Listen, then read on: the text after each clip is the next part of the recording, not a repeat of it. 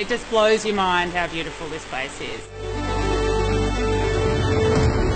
Gets the heart going and uh, the fingernails clenching.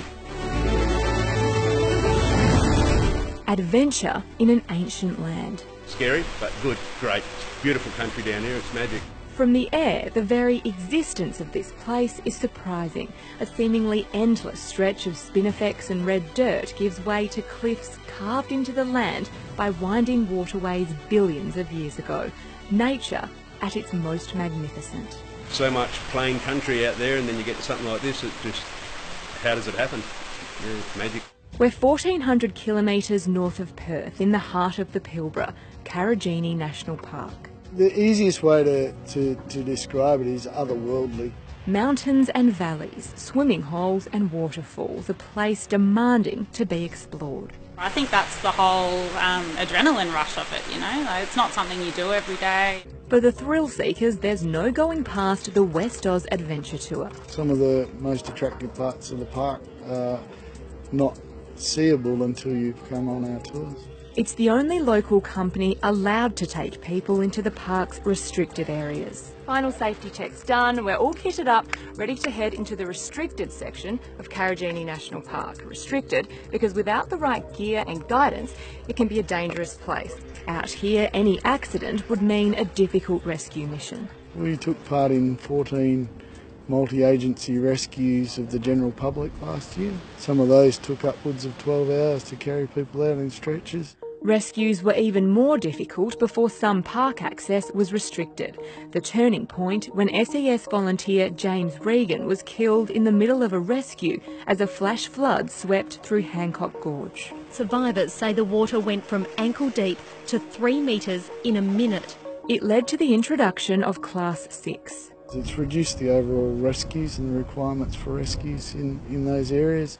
For our guides, this is a dream job, but one they take very seriously. Probably the most highly skilled guides on this side of the country. The tour is called Journey to the Centre of the Earth. It'll take us through to the bottom of Hancock Gorge. We use the roping and the climbing and the abseiling and the waterfalls for them to discover something about themselves. We clip onto the ropes almost as soon as we're into Class 6. Staying low, we cross a rocky ledge, one person at a time.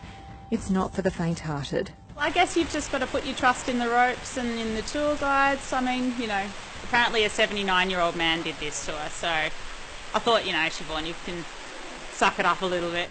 Then there's the abseil down an almost vertical rock wall down into Regan's Pool. Get down there where the, uh, the awesomeness is. From there, it's a mind-blowing trek through ancient rock formations and emerald green pools. Then another abseil, this time down a 45 degree waterfall known as the Chute. Happy I got through it unscathed. Finally, we arrive. Welcome to the centre of the Earth, uh, home to the oldest naturally exposed rock formation anywhere in the world. Billions of years, it's hard to fathom, isn't it? We're in the deepest part of the Karijini Gorge system, more than 100 metres deep. Simply spectacular. It's just incredible. But it's not for everyone. Luckily, some of Karijini's most beautiful gorges are also some of the easiest to reach. This is uh, Fortescue Falls, very popular with the tourists that come to the Karijini National Park. A beautiful water that runs all year round, fabulous swimming, and very easy access. From there, it's a short walk to another hotspot. We finish up here at Fern Pool for a swim in the afternoon, and uh, people thoroughly enjoy the day. Fern Pool is like this all year round, and the way the sun hits that waterfall as it comes in makes it quite a lot warmer than a lot of the other gorges we've been in, and as you can see, just beautiful.